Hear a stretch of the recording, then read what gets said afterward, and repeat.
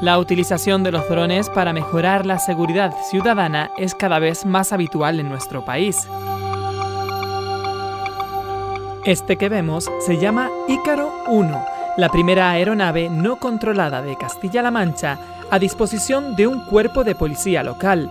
Lo encontramos en Ceseña, donde recientemente ha sido presentado este proyecto.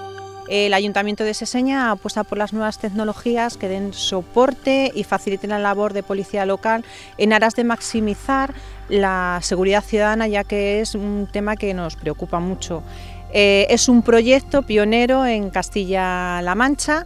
El ayuntamiento ha apostado por las nuevas tecnologías para dar soporte y facilitar la labor de los efectivos municipales el control del tráfico, la seguridad activa, el control del urbanismo, zonas verdes y medioambientales de especial sensibilidad o la colaboración y rastreo en incidencias con protección civil y con otras fuerzas de seguridad del Estado son algunas de las acciones que se llevarán a cabo.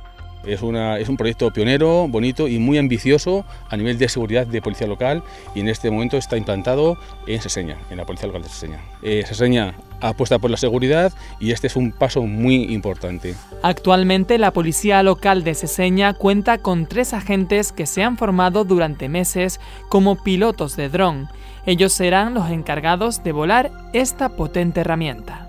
La mayor complicación es eh, que la policía local esté dispuesta y en eso quiero hacer hincapié que policía local ha, echado muchísimas horas en, formarse, eh, parte del tiempo personal lo han dedicado ya que han tenido que hacer exámenes y llevan muchos meses, muchos meses formándose.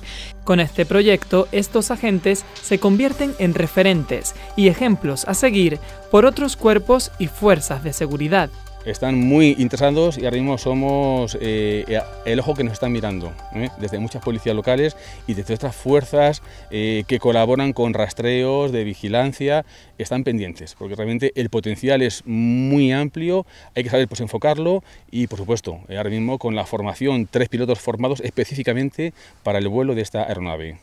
El dron lleva incorporado elementos de visión nocturna, cámaras térmicas, sensores de aproximación e incluso megafonía. Son drones, equipos de vuelos de alta generación, no es el dron común que podamos encontrar en cualquier centro comercial o vía online, en plataformas. Es un dron de última generación dedicado a vigilancia, control y a nivel muy profesional.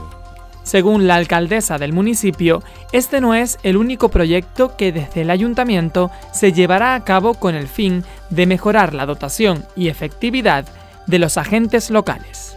Eh, nosotros apostamos para dotar tanto de recursos humanos como materiales a policía local. Estamos trabajando en dotarles de todos los materiales y dotarles de... Este es uno de los proyectos, pero tenemos en marcha varios proyectos más.